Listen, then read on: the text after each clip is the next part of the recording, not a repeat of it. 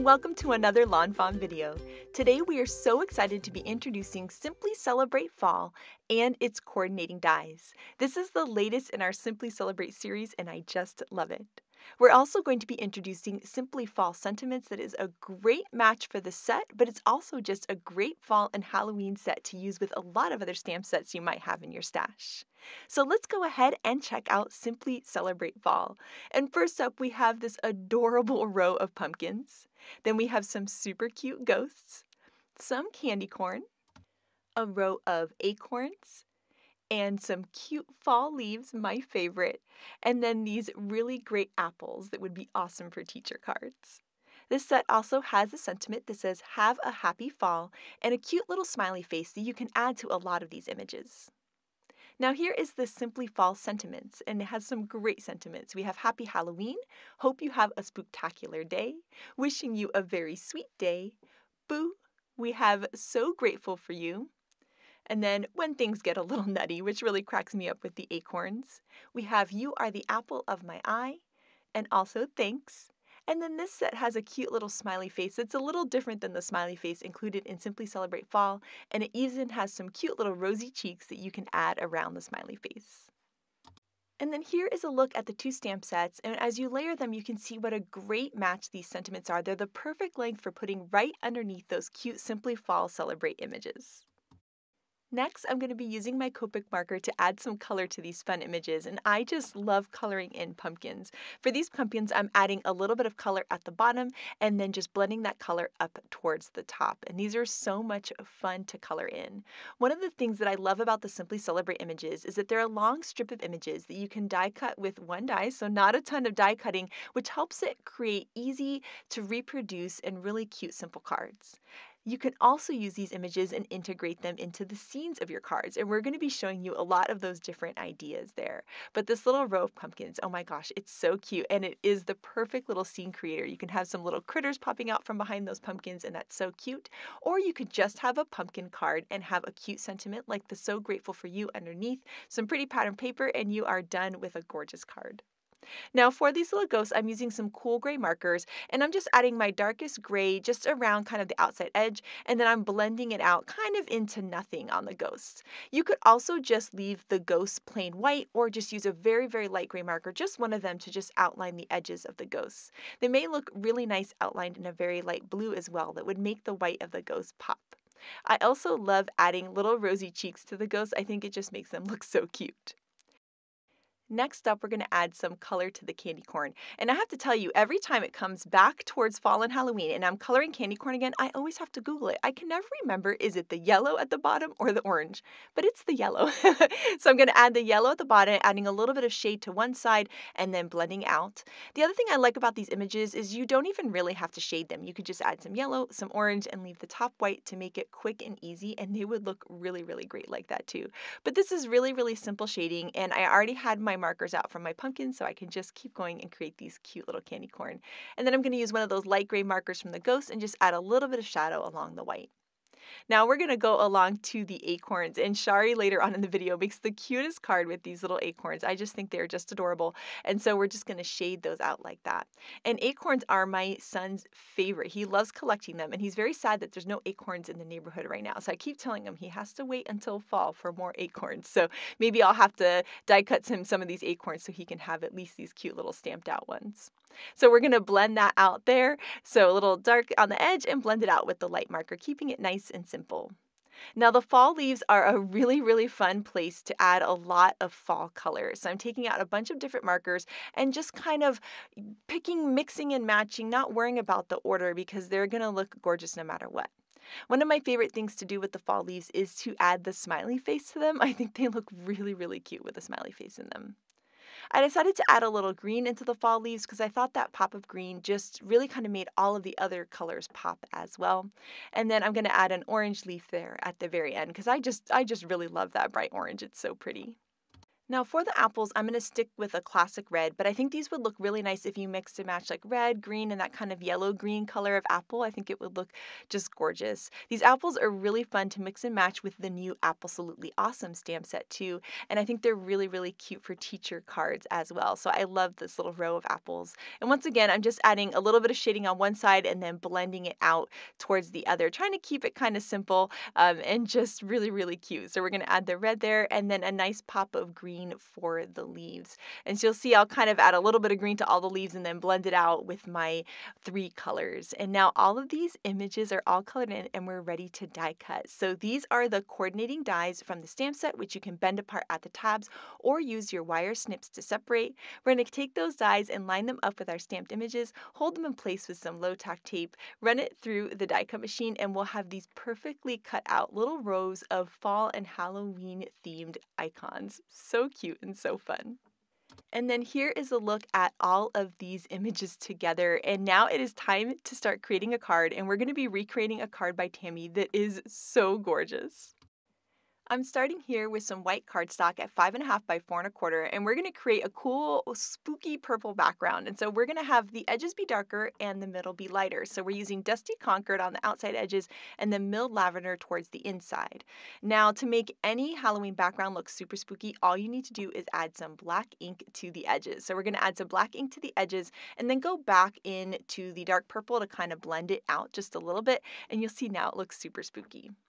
Next, we need to add some texture. So I'm going to spray some water onto my mat and pick up that water with my paintbrush. Then I'm going to tap the edge of this acrylic block with the paintbrush, letting that water splatter out. And this is a technique by Rebecca here at the office, and it makes tiny little splatters. It helps you kind of control the splatters. So if you're worried about your splatters, try tapping on the edge of an acrylic block because it really creates a cool look. So we're going to add some water. I picked it up with a paper towel just to dry it up for some texture. And now here I have some Copic white. Can use white acrylic paint as well. I mixed it with some water and we're doing the same thing, tapping the edge of the acrylic block to create some really cool splatters. And then last but not least, we're going to add some black watercolor paint splatters. So I'm going to mix up that paint with some water and do the same exact thing. We're going to tap that on the edge of the uh, little acrylic block there and create some really cool texture on this spooky background. So we put the background aside to dry a little bit, and now we're going to start creating the card. And first up, we're going to die cut a stitched rectangle scalloped frame out of some white cardstock. And this white cardstock is going to have such a nice pop on that really cool black background. So we're going to add some tape runner to that and then layer that on to the card. And it's going to create a really cool frame.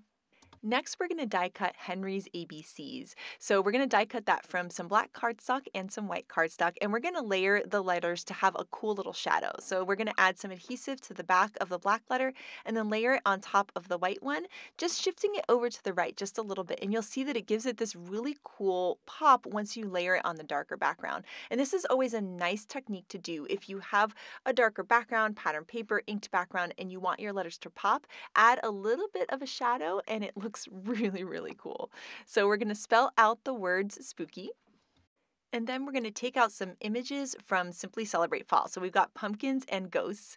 And we're going to add the pumpkins to the top here to kind of give us a bit of a guideline to do some stamping before we add everything onto the card. So we're going to layer our pumpkins, then we'll have our die cut letters, and then we're going to use the Simply Fall sentiments. And we're going to use the Hope You Have a Spooktacular Day. And so we're going to line that up in our MISTI tool here. You'll see we kind of had those letters as a guide, and then we can move those letters out of the way. And then we're just going to stamp that on to our beautiful background. Now, these pumpkins needed some smiley faces, and there's a smiley face in Simply Celebrate Fall, and then a different style of smiley face in the Simply Fall Sentiment. So, we're going to be using both of these. And I love how Rebecca did this. These are Rebecca's hands right now. She actually added one smiley face to one side of the block and the other smiley face to the other side of the block. So, she's just inking it up and flipping it over and moving back and forth between the different smiley faces. And look how cute these pumpkins look as she adds those adorable little smiley faces to them. We'll add a few more smiley faces to the three rows of pumpkins, and now we can start adding these to the card. So we're going to add some foam squares on the back and then start layering them onto our really cool background. Then we can fit our spooky letters in between the sentiment that we stamped and the pumpkins that we added to the top. So we're just going to layer those right on there, and you can just see how cute this card is turning out already. It's just such a fun Halloween card. And then we'll be able to layer the rest of our pumpkins with some more foam squares too for a nice, awesome pop. Now, you'll see we're going to use our little row of ghosts, but one of the things I love about these images is a lot of them are really easy to cut apart. So we're actually just going to use our scissors here and just cut that little pair of ghosts out, and we're going to just use those little ghosts. And so that's a fun way to use these images as well. And we're going to tuck those little ghosts behind the pumpkins, and I think they just add such a fun pop to this cute card. Now here we have a standard size card base at five and a half by four and a quarter. We're going to add some tape runner to that and then layer the card on top. And this card is all done and it's so cute and so much fun to make. And being able to have that long row of pumpkins die cut just once makes it super quick and easy to make too. Now for our next card, we're going to be using my new favorite paper, and that's the Let It Shine Starry Skies paper. It's so gorgeous, and we're going to be using this really pretty navy color from that, and we're going to be die cutting that with a stitched rectangle. Now this paper is gorgeous as is, and I love that this paper can be used for lots of different occasions, but to make it Halloweeny, we're going to do the same thing we did with the purple background. We're going to add a little bit of black ink to the edges, and just that little bit of black ink gives it this fun kind of spooky feel, and it's so quick and easy to do too, and I think it looks really, really awesome. One of my favorite things about the Simply Celebrate sets is that these images are interchangeable. So we can take those speech bubbles that came out with Simply Celebrate Critters, which came out in summertime, and we can use them with these fall images. And that's what we're going to do today. So we're going to stamp out those speech bubbles. And then we went ahead and shopped our stamp sets for some fun, tiny Halloween sayings. And a lot of our stamp sets have fun little tiny sayings on them. So you can kind of look through your stash and see what might fit in these speech bubbles, whether it's Halloween themed or a lot of other themes as well. And so we're going going to stamp out these images in the speech bubbles. And today we are recreating a card by Elena, so thank you so much, Elena. And I'll show you her card at the end of the video, and she used an orange paper in her background, and we're using a blue one. So I love the look of both of the cards. Now here we're just going to take a light blue marker and just add a little bit of shading and shadow to these speech bubbles and you can see it really helps bring them to life. Then we'll take the coordinating die from the Simply Celebrate Critters and we can hold that in place with some low tack tape and run that through the die cut machine and we'll have that perfectly die cut image that we're going to be able to add into this Halloween card. Now here we're going to use the new Fantastic Friends and we're going to use the Happy Halloween sentiment from that one and we're going to die cut that with a sentiment border die and we're just adding a little bit of shadow to those letters to match and coordinate with the shadow that we added to the speech bubbles. And so here is that sentiment border die and we're just going to line that up. Now this die was a little bit long so what we're going to do is we're going to line it up with one edge and we're going to run it through the die cut machine and then once that's die cut we can actually take the die and just shift it over and line up the edge on the left. And that's what I love about the sentiment banner dies is that you can actually customize the size by just running it through your die cut machine twice. So now we have a banner that's the exact size of the sentiment. Then we're going to take out our Simply Celebrate Fall stamp set and we're going to add some ghosts and candy corns on to this card. And we're going to add some foam squares to the back of all of these images so, so they have a really nice, awesome pop. So we'll add one row of ghosts and then we're going to add our speech bubbles and then the ghosts under that. The cool thing is you could have the speech bubbles coming out from the pumpkins with the little smiley faces or the candy corns, the leaves, any of the images in the set. And I think it's such a cute look. Then we're going to add our Happy Halloween banner. And then for a fun pop of color, we're going to add the candy corn at the bottom. Then next up, we're going to take a standard size card base that's five and a half by four and a quarter. We can add some tape runner to that and then layer our card on top. And look how cute this is. So simple, so fun to put together. And I just love that beautiful, shiny Let It Shine paper in the background too. It just adds such a fun sparkle to the card. Now, next up, Shari is going to share two super cute ideas with this set with more of a fall theme. So take it away, Shari. Today I'm making a mini slimline card using the acorns from the Simply Celebrate Fall stamp set. I'm also pairing that up with some squirrels and some images from Let's Go Nuts. So I've got some squirrels, I'll use the wagon and that pile of nuts, and then I'm going to use the coordinating sentiment in the Simply Fall Sentiment set. So I've already colored and cut out my images that I'm going to use. And I have a piece of blue Gotta Have Gingham paper and I'm just cutting this to 3 inches by 6 inches which will be the size of my mini slimline. I'm using the stitched rectangle of the same size to cut a piece of cilantro cardstock and then I will cut out a little grassy border along the bottom. So this will be the grass for all my squirrels to set on. I'm adding some adhesive to the back of that piece of gingham paper and going ahead and putting that onto my card base. Now before I put my grass on, I wanted to do a little bit of inking to the tops of the grass. So I'm using some Lucky Clover Distress ink and a blending brush to just add a little bit of dark color so I kind of have two tones of grass and it doesn't look quite so flat. Then I can go ahead and add this to the bottom of my mini slimline card. And then this will give me a place to add all my little images to create my little scene. So I'm starting out by putting this squirrel that he's going to be throwing acorns off the wagon, basically. So I like that his hands are up in the air and I'm putting him on the back of the wagon. And then I'm going to add that pile of acorns from the Let's Go Nuts set to the wagon. So he's basically getting in the wagon and creating a big old mess, throwing the acorns around. Then I also have this other little squirrel that looks like he's pulling the wagon. So I will add a dab of glue to his little hand here and just add the handle of the wagon so it looks like he's pulling. So I'm just adding some foam adhesive squares all over the back of this little assembly of images. And I'll add this to the left side of my card. You can see I have that other little squirrel holding a nut. He's going to be tucked behind this line of acorns. So what I'm kind of going for here. It looks like this squirrel is wreaking some havoc and throwing acorns off the wagon and leaving a trail of acorns behind. And then, of course, this little guy came along and found a free acorn on the ground. So I've got the line of acorns from the Simply Celebrate Fall and I'm just going to add some thin foam squares to the back of some of these acorns so that it's popped up a little bit off that background and that squirrel with the acorn in his hand looks like he's behind this line. Then I'm just adding this line behind the wagon like we're leaving a trail of acorns as the squirrel pulls the wagon along.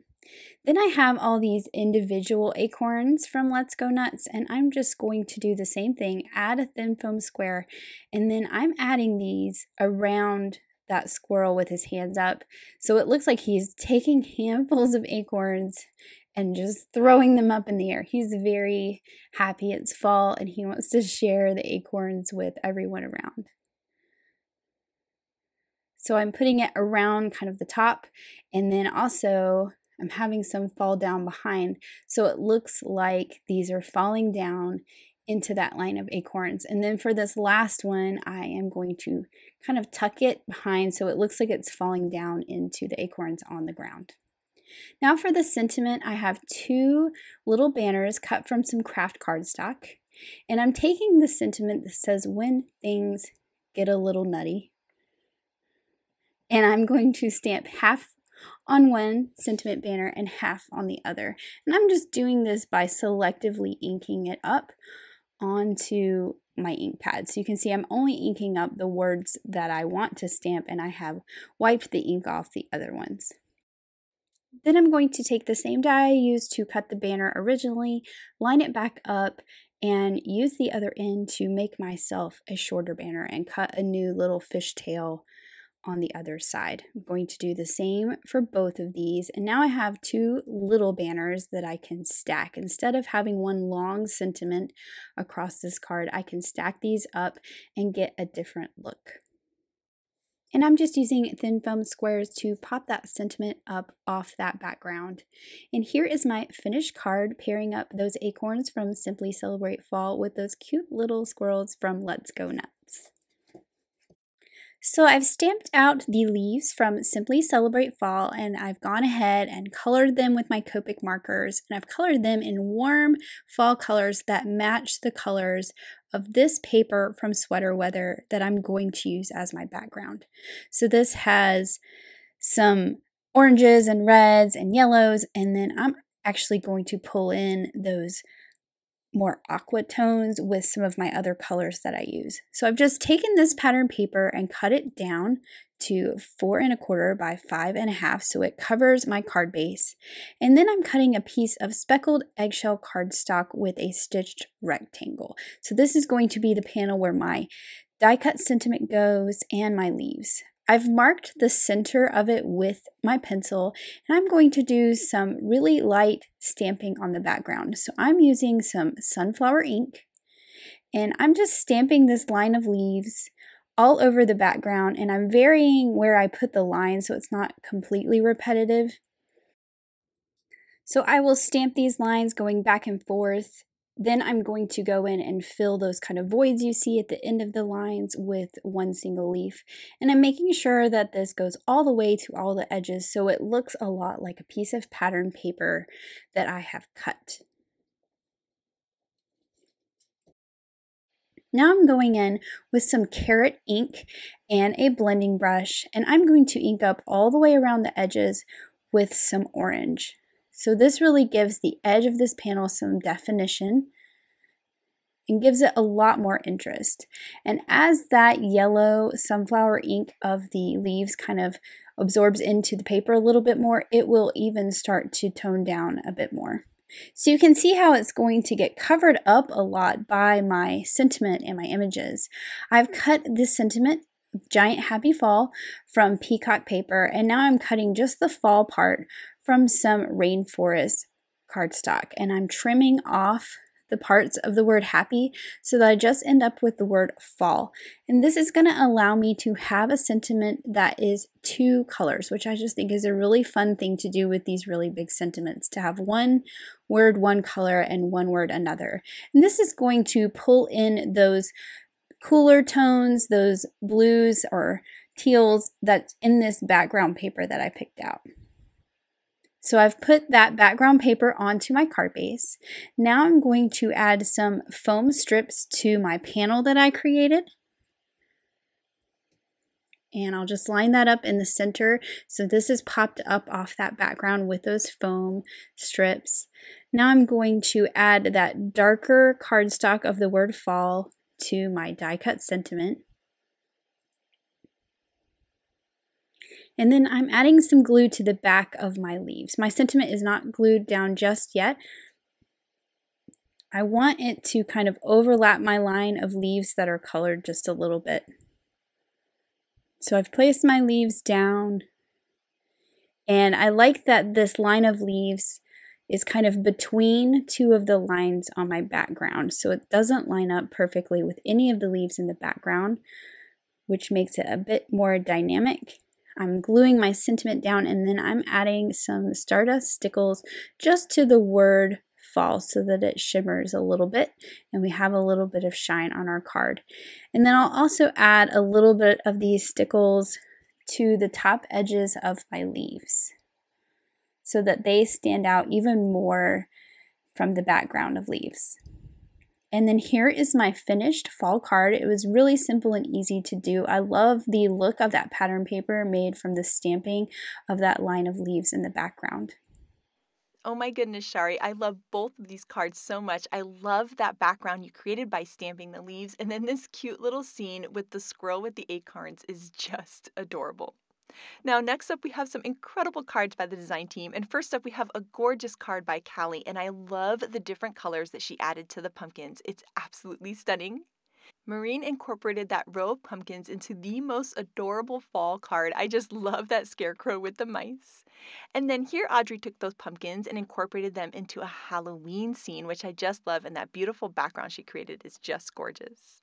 Now, Grace created a peekaboo pop up card that is just so adorable. She stacked up those rows of acorns, added some cute squirrels, and then as you open up the peekaboo pop up, you get this great surprise of the big acorn with the squirrel on top. And I think this is just the cutest card. Here is a look at the cards by Tammy that inspired us to make ours today, and I just love the look of the blue and purple backgrounds.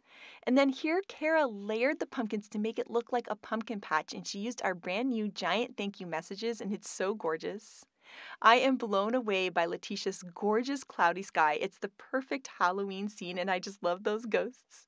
And then here we have a super cute card by Elise where she took those pumpkins and she put them in our stitched wavy backdrop, and I think it's just adorable. I love how Megan mixed and matched different ghosts from different sets to create a really cool spooky Halloween card. And then here Shari combined our awesome barn with the pumpkins and that makes such a gorgeous fall card. Here is the card by Elena that inspired us to make ours, and I love how she used a lighter colored orange background. It looks absolutely incredible. Here, I love how Lynette layered a bunch of the fall images with the acorns, apples, leaves, and pumpkins. It looks so cute on a card. And this card by Shari is so much fun, and she has created a video for this for September, so you guys are going to have to definitely check that out. And then here, I love that Mindy separated the different ghosts and put them into these fun little windows. It's so cute and sweet. So we cannot wait to see what you guys create with these two new sets, so make sure to share it with us. Thank you so much for watching today, and I hope you have an absolutely amazing day. Bye!